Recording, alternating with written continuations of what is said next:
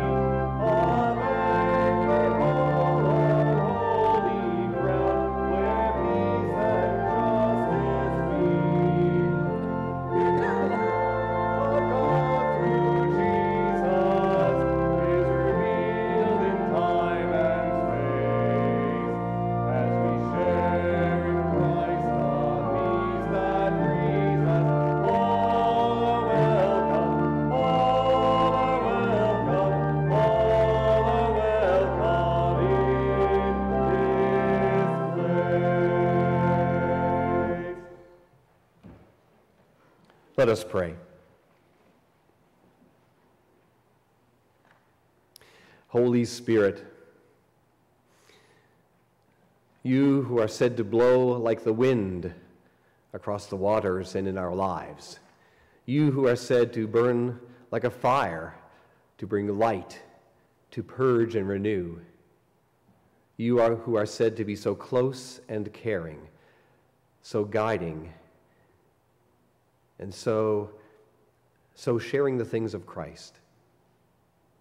We gather to be together, to be enlightened, to praise and be grateful, to be changed and challenged, to be set forth into this, this week and this life as people of Jesus.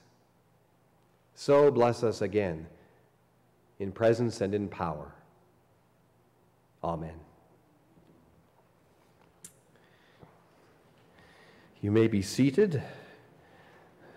I'm on my own up here today, and I knew I would be because Don was planning to be away, and he had a wedding yesterday in the valley and was going to be with his parents visiting today. But unfortunately, Don got quite ill yesterday, Don Miller, and couldn't perform the wedding he was to perform, and he's in the Amherst Hospital now in intensive care. So we'll keep him in our prayers today, and I'll talk a little more about that at our children's time in just a moment. Um, so before we do that, we'll sing a couple verses of this old children's hymn, uh, Praise Him, Praise Him.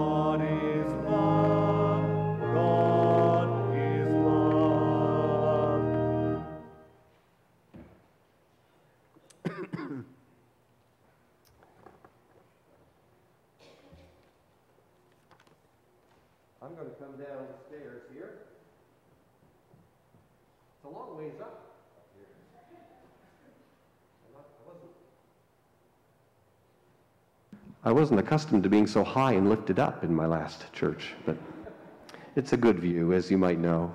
I hope you all get a chance to read up there once in a while. I'll, I'll be calling on all of you eventually. Well, today, one thing that will happen from up there is the scripture readings today, and one of them, as almost always, is an epistle or a letter. So it's like we're reading someone else's mail, right? I mean, it was, we don't know the guy who wrote it, do we? I mean, that was a long time ago. And uh, it's not written to the Amherstians. Are you an Amherstian if you're from Amherst? What are we? Uh, we're Amerstonians. Okay. It's not the letter to the Amerstonians we're going to hear from. We're going to hear from the letter to the Colossians. They lived in Colossae, which is, what's well, a far away anyway. But it's amazing. We're listening to someone else's, reading someone else's mail, but it's still meant for us because there's something special about it. I got some, some mail today of other kinds.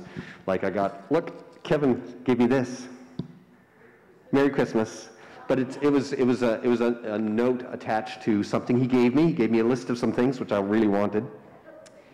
And then, and then Don, dear Don, who's in the hospital right now, he, uh, he was going to be away, so he sent us a nice postcard with a message about what he was doing this weekend. Little did he know he'd have to have some healing and some blessings. So we're going to we'll pray for him in a moment. But he, uh, uh, little Don did send hugs and kisses in this postcard to us. And so, uh, so I made up, some of you saw already, I made up a, a card for little Don to uh, hopefully I can get that to him at, in intensive care. I don't know if they'll let me in, but maybe they'll let the letter go in um, with a little cartoon. I thought he should have a cartoon on the front that was making fun of the situation, but anyway. But I will, uh, I will take that back out to the foyer after the service, and if you want to sign, sign and put a little note there as well, and then I'll take that off to the hospital at noontime. So these, little, these cards and letters mean so much at times. And uh, whether we're reading the letters in Scripture or we've got a note to one another, uh, this kind of communication is pretty special. Anyway, let's do a little communication of prayer, especially for, uh, I guess you call him Reverend Don, right? They called me Pastor Jeff where I was before. I like being called whatever, but we'll, we'll pray for uh, Reverend Don. Holy Jesus, you we call the great physician sometimes, a person of healing, the God of healing. So we ask for your blessing for whatever is going on with Don Miller. But we're grateful that he's in our local hospital, getting intensive care, all this care that he needs.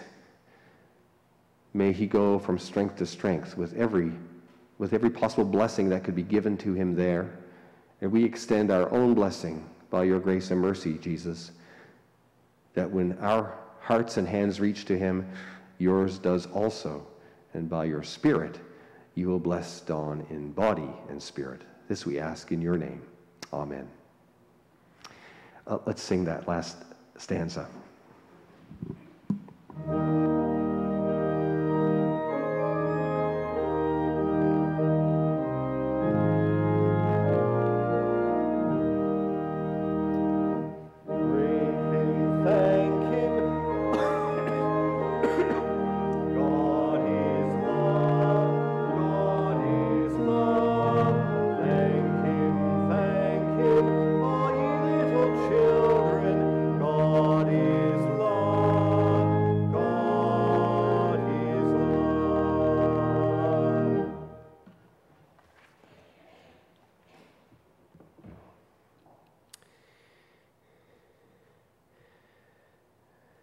We have a prayer of confession printed in the bulletin uh, for, our, for our use today. So let's prepare to speak this, this prayer and then seek the promise of pardon.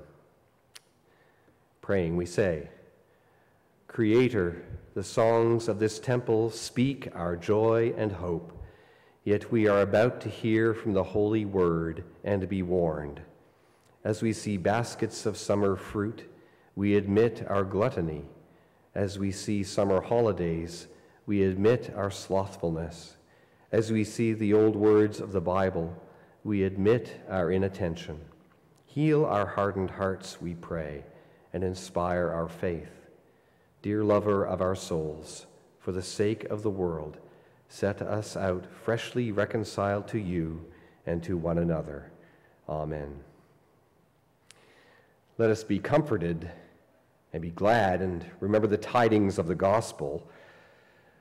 God so loved the world that God gave the only Son, that whosoever believeth in Jesus should not perish, but have the eternal life.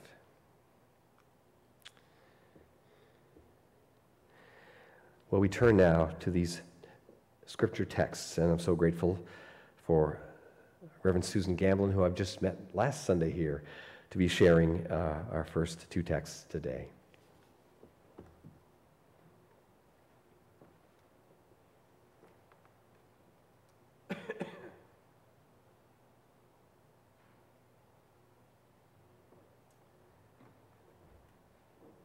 Welcome to the pulpit. Thank you very much.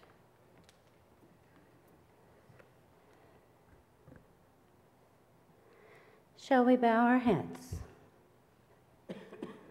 Oh God, open our hearts and minds by the power of your Holy Spirit, that as the scriptures are read and your word is proclaimed, we may hear what you are saying to us today. Amen. A reading from the book of Amos. This is what the Lord God showed me a basket of summer fruit. He said, Amos, what do you see? And I said, A basket of summer fruit. Then the Lord said to me, The end has come upon my people Israel. I will never again pass them by. The songs of the temple shall become wailings on that day, says the Lord God. The dead bodies shall be many, cast out in every place. Be silent. Hear this, you that trample on the needy, and bring to ruin the poor of the land, saying, When will the new moon be over, so that we may sell grain, and the Sabbath? so that we may offer wheat for sale. We will make the ephah small and the shekel great, and practice deceit with false balances, buying the poor for silver and the needy for a pair of sandals, and selling the sweepings of the wheat. The Lord has sworn by the pride of Jacob, Surely I will never forget any of their deeds. Shall not the land tremble on this account, and everyone mourn who lives in it, and all of it rise like the Nile, and be tossed about and sink again like the Nile of Egypt? On that day, says the Lord God, I will make the sun go down at noon and darken the earth in broad daylight. I will turn your feasts into mourning and all your songs into lamentations. I will bring sackcloth on all loins and baldness on every head. I will make it like the morning for an only son, and the end of it like a bitter day. The time is surely coming, says the Lord God, when I will send a famine on the land. Not a famine of bread or a thirst for water but of hearing the words of the Lord. They shall wander from sea to sea and from north to east. They shall run to and fro, seeking the word of the Lord, but they shall not find it.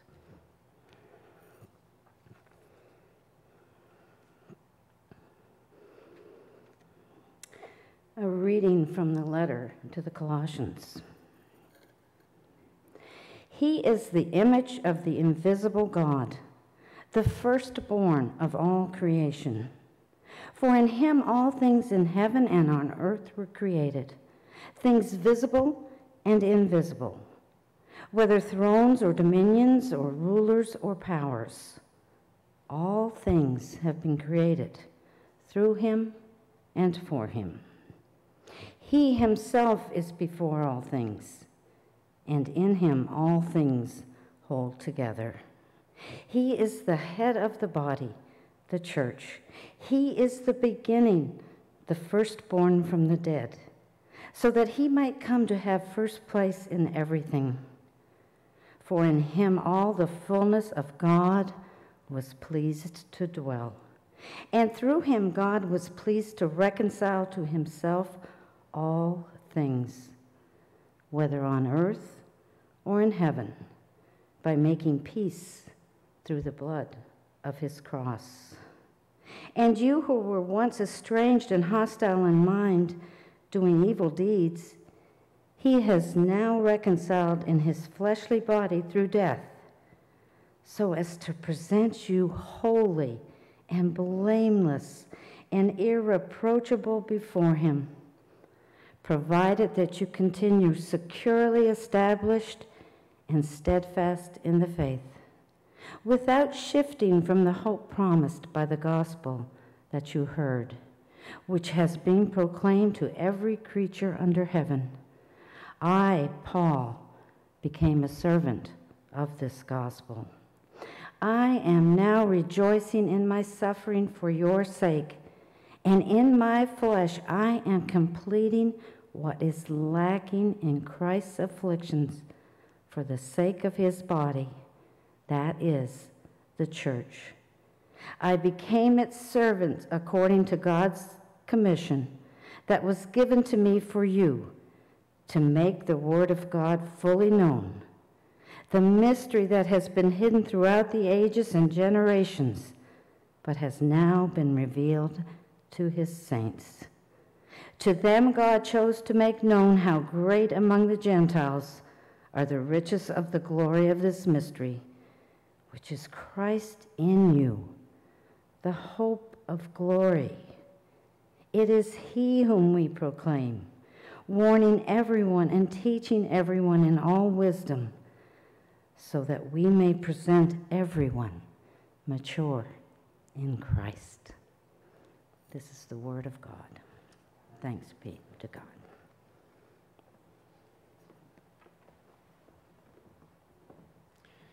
Immortal, invisible, God only wise, let us sing. Hymn 145.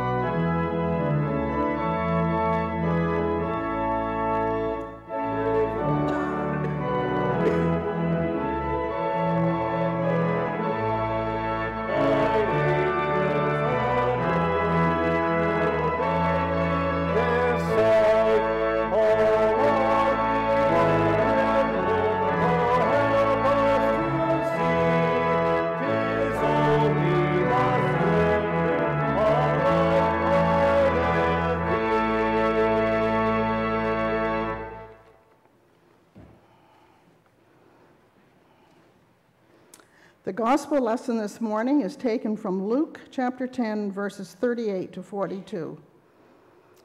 Jesus visits Martha and Mary. Now, as they went on their way, he entered a certain village where a woman named Martha welcomed him into her home. She had a sister named Mary who sat at the Lord's feet and listened to what he was saying. But Martha was distracted by her many tasks, so she came to him and asked, Lord, do you not care that my sister has left me to do all the work by myself? Tell her then to help me. But the Lord answered her, Martha, Martha, you are worried and distracted by many things. There is need of only one thing. Mary has chosen the better part which will not be taken away from her. Amen.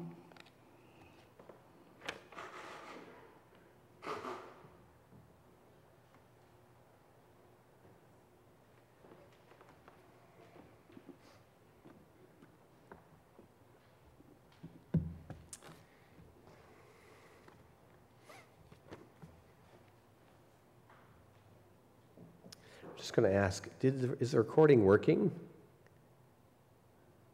Sharon, is the recording working? It is, okay. I was going to record an audio if it, it wasn't. I don't have to do that. You've got it held together.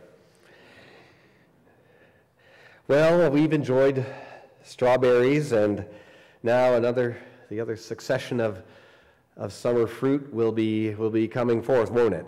The blueberries, the raspberries, the blackberries, the gooseberries, the plums, the, the whatever.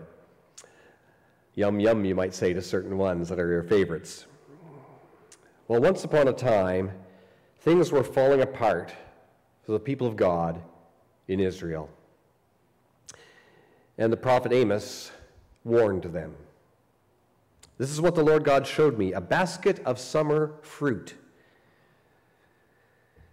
He said, Amos, what do you see?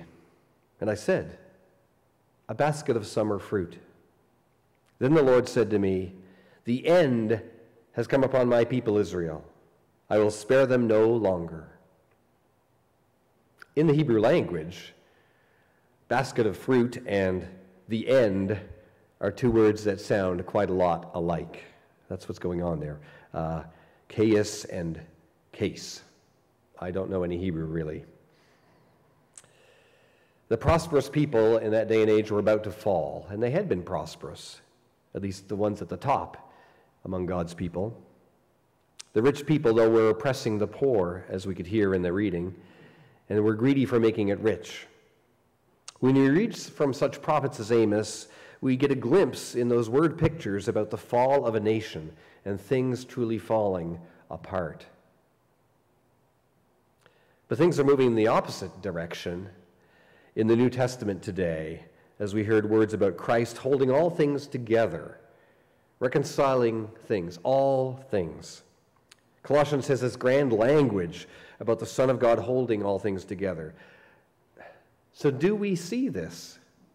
Do we know it? And do we, do we show it? The first of my three points today really is to say that Christ does hold together all creation. Let me start by speaking in the style of Amos in those days. This was, and this was really inspired by looking at the discoloration of our, of our two buildings. This is what the Master God showed me a gray crust on the red sandstone church. God said, Jeffrey, what do you see? And I said, Lichens, lichens growing on the stone. Then God said to me, a new beginning is coming upon my people. Teamwork and cooperation, like the symbiosis of fungi and algae in the lichens that start growing on bare rock. There's a bringing of things together that happens when a lichen grows on a rock. Well, it was the author of the Bible book Colossians who wrote of Christ he himself is before all things, and in him all things hold together. In Christ Jesus, all things hold together. The Bible is a very, I'd say, a very human uh, book, mostly about us, humans, and for us. Christianity is a human religion, all aimed at people for the most part. Yet we get this message again and again all creation is involved. We call God creator, Christ is part of creating also, from the beginning, before all things.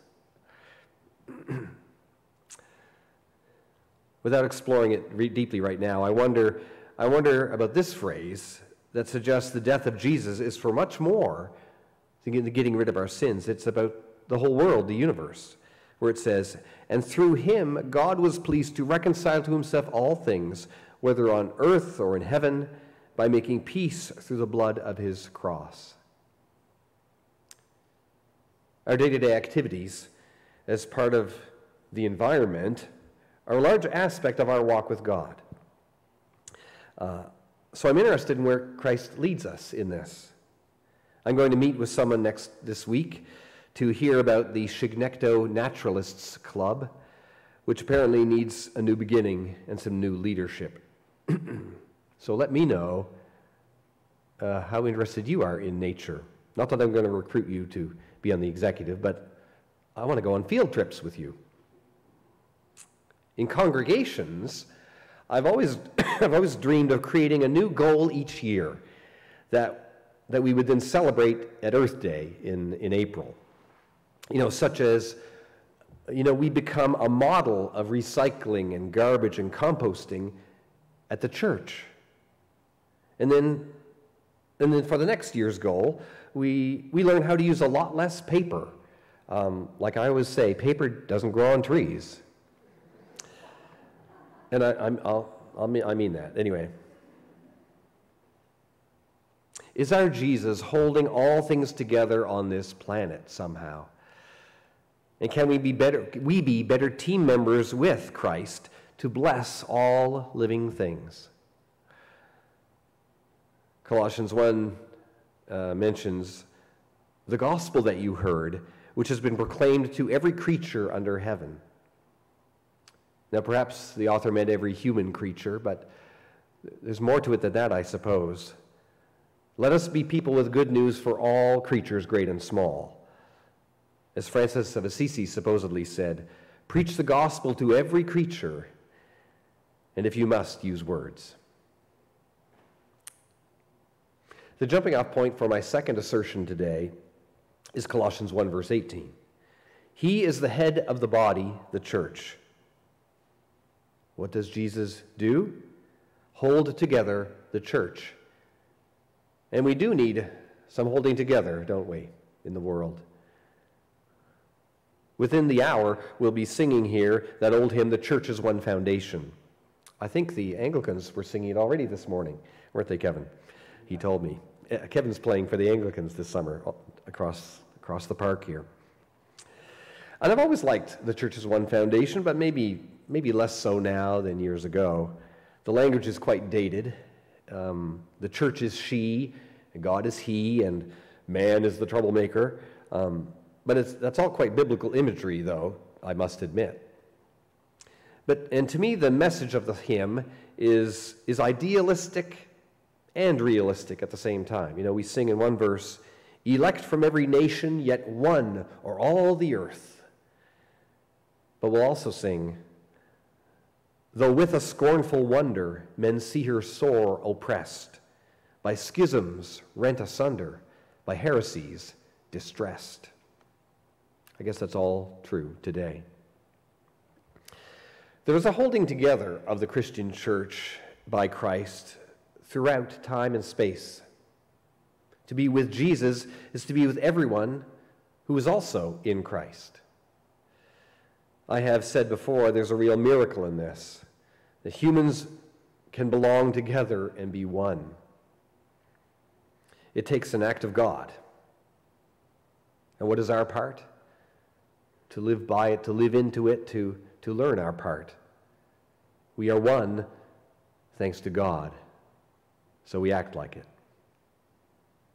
Now, let me take time in the middle of things here to read you a story the story of Safed the Sage. I don't know if you've heard stories of Safed the Sage before or not. Stories by William, pardon me, by William Barton, who uh, were published about 100 years ago right now, that he wrote then. And uh, these stories about Safed, who's kind of an old fashioned preacher, And back 100 years ago, they were written to be even more old fashioned. And it's, to me, it's kind of an endearing style of storytelling, an old fashioned style. So this story is called The Private Car, which I'm, I'm coming to enjoy in a town where the train still goes by. Here's the story.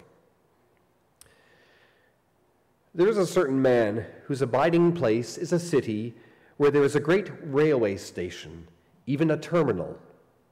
And this man determined within himself that he would go upon a journey. So he walked unto the terminal, and he bought a ticket, and he paid the fare. And he presented the ticket at a gate where stood a watchman. And the watchman punched his ticket and spake unto him, saying, The train is already on track number six. And he beheld the cars, and they were filling up rapidly. And he said, Behold, they will all be crowded, and I shall suffer discomfort. And he beheld the last car, which was nearest unto the gate, and behold, there was no one in it. And he said, This I will do. I will go into that car, and I shall have abundant room. So he went within, and he had all the room he wanted, even the whole car. And he smiled within himself when he thought of the other passengers who were jammed into the other cars. And while he was hugging himself for joy and considering what a smart guy he was, behold, the train pulled out and left him and his private car standing upon the track. And he rushed out and spake angrily unto the watchman. And he said, Wherefore am I left behind? And the watchman said, That is an extra car which we keep on the track to use in case there be a greater crowd than we expect. But today there was no great crowd. Yea, and there had been room enough for thee in one of the other cars that went, but thou didst, not, thou didst want more room, and thou hast all the room in sight. Yea, and upon the side track, out in the yard, are many empty cars. Thou canst take thy seat in any one of them.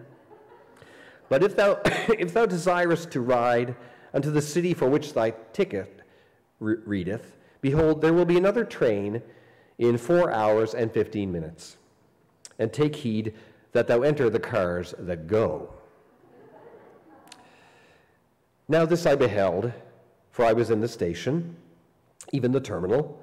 And I saw that man, yea, and I heard that man. And what I heard was a plenty. And I considered that often I am caught in the jam of life, with people crowding and pushing, and it were much more comfortable to find a quiet seat in some rear car where the wicked cease from troubling and the weary are at rest.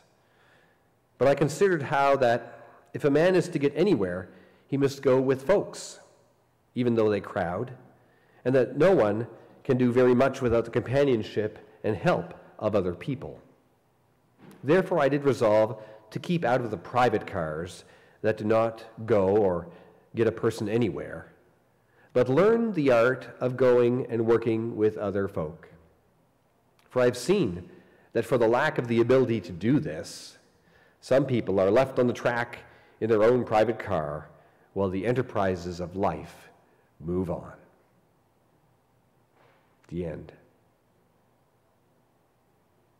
I believe the faith we share here today is indeed a shared thing. For all of life is a shared thing. Our core hope and mission is about reconciliation, being held together, belonging. Your task and mine is to take our own steps in that direction. This brings me to conclude with my final point today. Christ also lives to hold together you and God. We have these words from Colossians 1. You he is now reconciled in his fleshly body through death, so as to present you holy and blameless and irreproachable before him. As you may well know, it is the work of God to connect us to God's self. We get drawn in, the, the divine relationship gets healed. It is about the human soul and the Holy Spirit. The amazing things we have been given and that we give to the world are the riches of the glory of this mystery, which is Christ in you, Christ in you, the hope of glory. The glorious one who is in us holds all things together. Let us take a, a silent moment.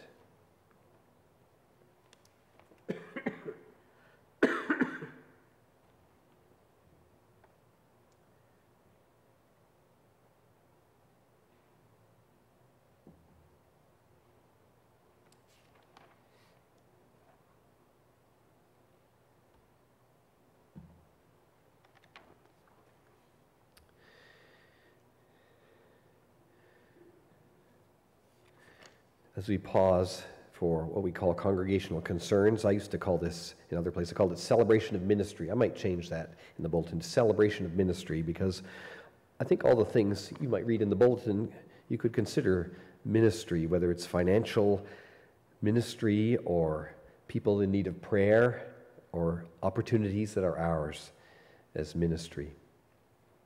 Uh, so please take note of all the things that are in print here and uh, you can find things in bulletin boards and, and all over the place. And there's always lots of, I see there's lots of reading material that you never read, or else you read it and you bring it back because there's tons of the spring bulletin of the uh, Canadian Association for Baptist Freedoms out there for you to read. Take it, read it, recycle it.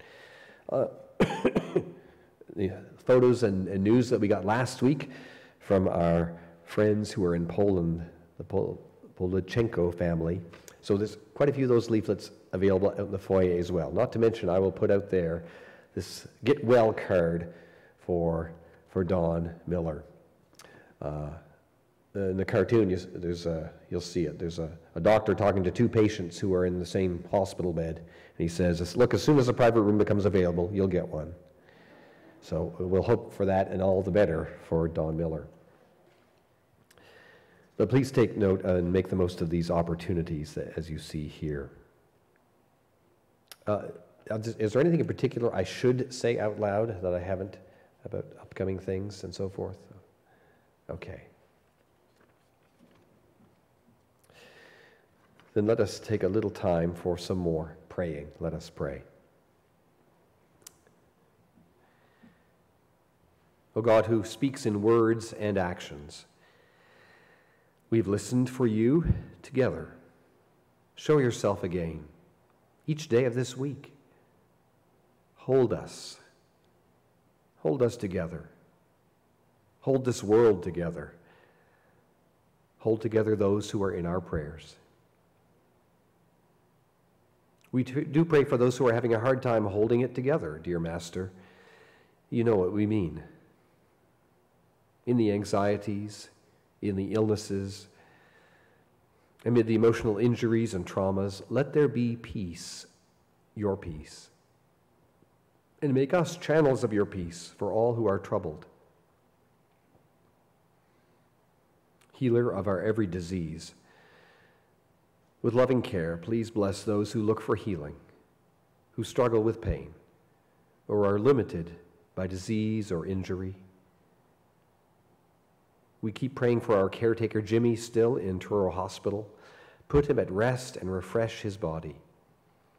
We pray now for Reverend Don in Amherst Hospital after a day of sickness yesterday. Oh, have mercy and give healing to him and to all whom we bring before you now.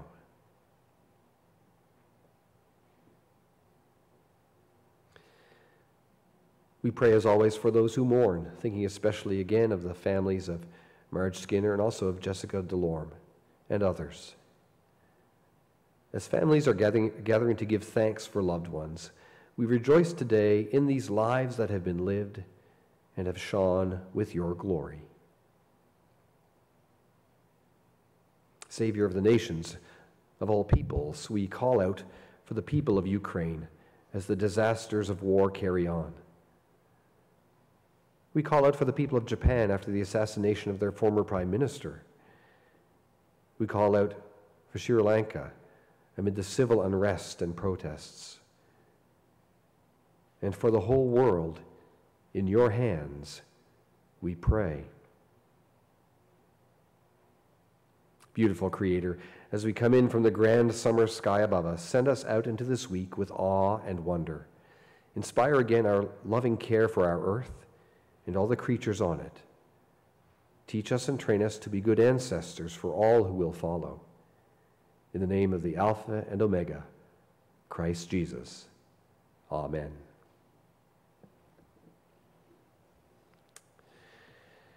Well, let us sing this old hymn. I think we have we have five stanzas there. I was going to get ambitious and creative and make you a choir and get you know the women to sing one verse the, or the Uniteds to sing one verse and the Baptist. I'm not going to do that to you. Let's just sing as you see fit.